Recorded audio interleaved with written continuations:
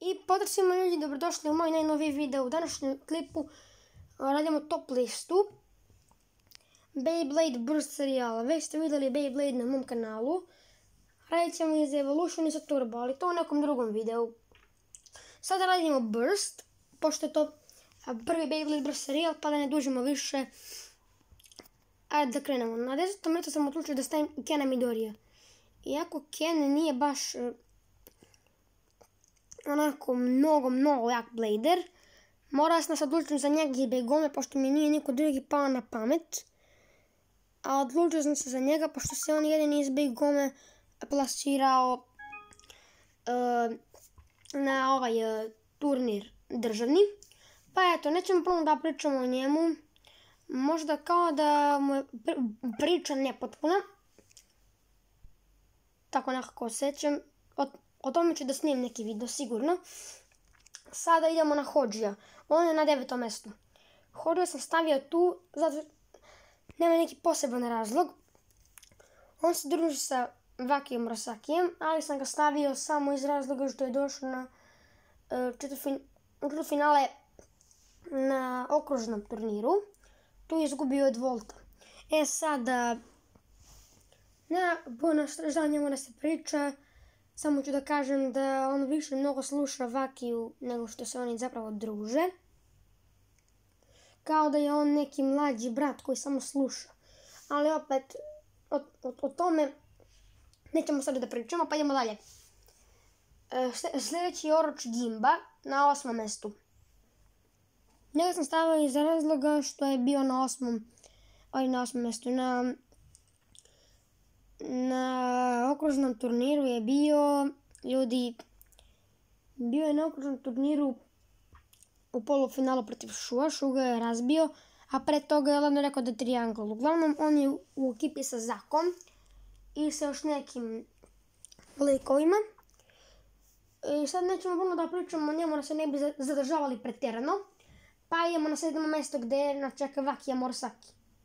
O, njemu smo već pričali na, na devetom mjestu to jest da je bio dobar drug, to jest da jeste dobar drug od Hođija. E, dobro, sada e, Vakija e, pomalo je pomalo me nervira, pošto opet on je malo sebičan da kažem i sad nećemo mnogo da pričamo o njemu, već idemo na Gabe-a. On je na Gabe na šestom mjestu, Gabe Brunei. On je vođa jahača, to jest kapitan jahača. E, jahači su ladno igrali bez Luja cijelo vrijeme, uspjeli su da pođu u finale jedva. Dobro, ne baš jedva, ali razumijete me. Luj se pojavio tek u finalu i isprozivao uh, Šenkija, Sad slučajno ušao u vremensku prognozu. E sada, znači on je e, tu na listi. E, jeste da ga je isprozivao i rekao mu da je lož blader kad izgubio od šua. A finiš praskao, ma šu inače odličan, on kaže da je šu tupavi blader. idemo sada mi dalje. Na sljedećem mjestu je Zak Svitanje. E, pravo ime je Zakar, ja sad tačno ne znam kako se preziva on je baš u toj grupi gdje je Oroči. Sad idemo dalje, pošto nema puno što da pričamo o njemu. Izvinite zbog uh, buke u kući. E sada, idemo na Ksandera Šakaderu na četvrtom mjestu. Stavila sam njega ispred Zaka. Ne znam, tako nekako osjećam, jer mislim da ne bi, da je prošlo četvrt finale, da se nije pao sa Voltom. Za kog je sam rekao da je Joker. E, Čak je ovdje bi iscrpljen kada je vidio Kassandra, dok da mislim da je bilo malo teže. No, tako mi u glavi. A on je svako igrao polufinale na prethodnom državnom turniru, kao i Zak. Šu i Luis su također igrali to polufinale, mada Šu i Luis su igrali razvojno. Pretpostavljam, ajde da upnem da je Šu igrao sa Zakom, a Luis Alexander, nekako mi tako u glavi, iako nemam pojma o tome. Sad idemo dalje na Volta. On je u suštini, da kažem, noob na početku, ali posle se malo uzdigo, ali opet nije ostvario neku preveliku slavu. u Brstu, ja mislim da je to više početnička sreća nego pravi uspeh.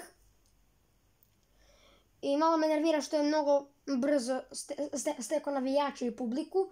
To je glupo urađeno, ali sve, ostalo kod njega je dobro. Prerano je svoju publiku, to morate da priznate, ali opet e, više je to po meni bilo početnička sreća. Jeste vidjeli da nije uopšte imao pojma da kondolišu Genesis Valtrijeka na početku Evolutiona.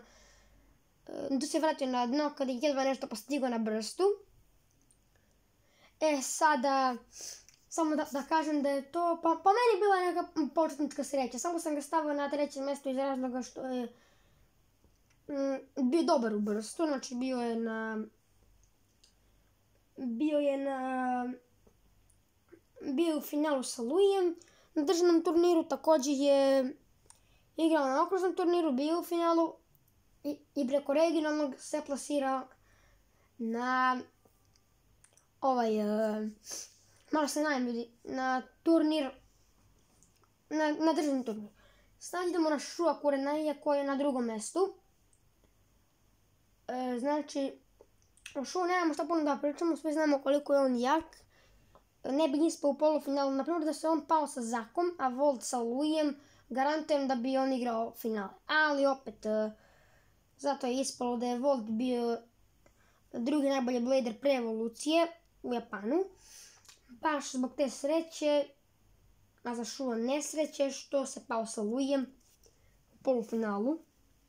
Zapravo mogu da ga pobedi, ali je prefosirao Sprajzena. Ne znam da li ste vidjeli, Luj je puko film i greždao i Lunar se toliko ljuljao, znači pretjerano se ljuljao. Isto je bilo i sa Voltom. Ista priča i sa Voltom u finalu. Uh, Volt, uh, je napravio pukotinu u stadionu u prethodnoj borbi i u sljedećoj borbi se sapilo, da kažem, na, na nju. Lunar se toliko ljuljao da bi stao svaku sekunda. Valtrik je bio u punom sprintu i da ga je tu nagazio, Lunar bi definitivno puko. Uh, kako bi ga inače ošurio, bukvalno. Ali eto, rupa u stadionu je praskovala Valtrika pre vremena. Lunar se zaustavio za samo par sekundi. Ali opet mislim da je to više bila sreća za Volta nego za Luija. Opet sam slučajno ušao vremensku prognozu i ovdje gore sam kliknuo. Nema veze, e, sljedeći na listi je Louis Shirosagi, nemam šta, a puno nemam da pričamo, mislim da voli da ponižava druge bladere. Iz razloga što misle da nisu dovoljno dobri kao on. E sad to malo ne vira kod njega, ali uglavnom zaslužuje da svoji. Iako je malo imao više sreće na turniru, to jest u polufinalu i u finalu, inače je bio dobar na turniru. A i ovako kad je imao sreću bio je jako onako lepo igrao. Opet je Volt u finalu 4-2, u polufinalu Šua 3-2. To je također jedan razlog zašto sam stavio Šua ispred Volta. Pa to je to što se Luja tiče. Nemamo puno da pričamo o njemu. Tako da ako vam sviđa video imate jedan veliki pozdrav od mene do sljedećeg videa. Obavezno ga lajkujte. A mi se vidimo u sljedećem klipu. Ćao!